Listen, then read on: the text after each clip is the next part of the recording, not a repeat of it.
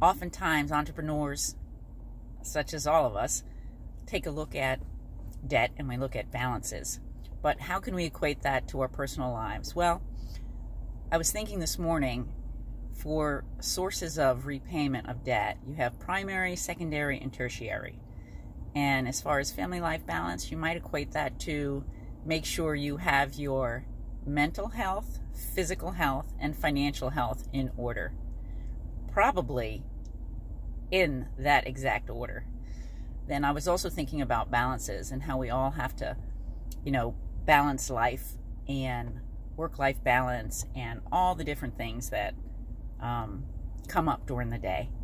And as I always say, do what I say, don't do what I do. Make sure you take care of those and yours first before you worry about anything else. Hope you're having a great day.